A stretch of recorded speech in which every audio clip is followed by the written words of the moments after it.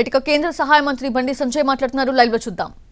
సచివాలయంలో గౌరవ ముఖ్యమంత్రి గారి సమక్షంలో ఒక సమీక్షా సమావేశం కూడా ఏర్పడడం జరిగింది. దానిలో రాష్ట్ర ప్రభుత్వం కూడా అనేక విజ్ఞప్తులు చేయడం జరిగింది.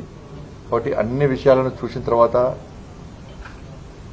రాష్ట్ర ప్రభుత్వం యొక్క నివేదిక తర్వాత కేంద్ర ప్రభుత్వం నుంచి కూడా టీం వచ్చి వారి యొక్క నివేదికలను పరిశీలించి నిబంధనల ప్రకారము తప్పకుండా తెలంగాణ రాష్ట్రానికి ఆంధ్ర రాష్ట్రానికి సహాయం చేసే బాధ్యత కేంద్రం మీద ఉంది కాబట్టి తప్పకుండా చేయాలని చెప్పి ఆలోచన కేంద్రంలో ఉంది.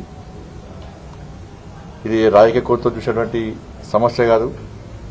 ప్రజల కష్టాల్లో ఇబ్బందులు ఉన్నప్పుడు వారికి బాసటగా నిలబడి వాళ్ళకు భరోసా కల్పించాల్సిన బాధ్యత పాలకుల మీద ఉంటుంది కాబట్టి నిబంధనలకు అనుగుణంగా ఏ విధంగా మనం సహాయం చేస్తుందో కేంద్ర ప్రభుత్వం ఆలోచించి సహాయం చేయడం సిద్ధం ఉంది.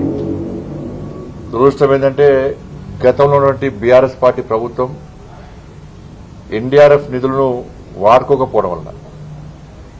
ఇప్పుడు దాదాపు పదమూడు వందల నలభై ఐదు కోట్ల రూపాయలు ఆల్రెడీ నిధులున్నాయి.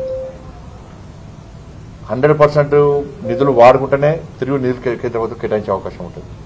కానీ గత ప్రభుత్వం నిధులు వాడుకోకపోవడం వలన దానికి ఖర్చు చేయడం కొంచెం చిన్న చిన్న ఇబ్బందులు వస్తున్నాయి. ఆ విషయాన్ని కూడా రాష్ట్ర తెలంగాణ రాష్ట్ర ప్రభుత్వం మా శివరాజ్ గారి దృష్టికి తీసుకురావడం జరిగింది.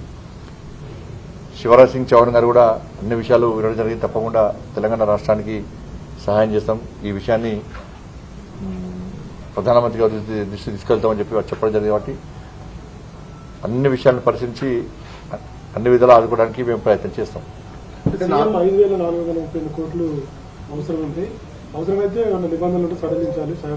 అదే ఈ ఎన్డీఆర్ఎఫ్ విషయంలో సడలించాలని చెప్పన్నారు. రాష్ట్ర ప్రభుత్వ నివేదిక అందింది. కేంద్ర ప్రభుత్వం కూడా ప్రత్యేక టీమ్స్ పంపించి వారు కూడా ఇలా రకరకాలు ఉంటాయి. పశువులు ఎండిపోయినాయి పోయినాయి ఇండ్లు ఎండిపోయినాయి పోయినాయి పొలాలు ఎండిపోయినాయి పోయినాయి అన్ని రకాలుగా రకరకాలుగా నిబంధనలు ఉంటాయి కాబట్టి దానికి అనుగుణంగా సెంట్రల్ టీం కూడా వచ్చి వాళ్ళు కూడా ఒక నివేదిక తయారు చేస్తారు. రెండు నివేదికలు పరిశీలించి తప్పకుండా సహాయం చేయడానికి కేంద్ర ప్రభుత్వం ముందుకు వస్తుంది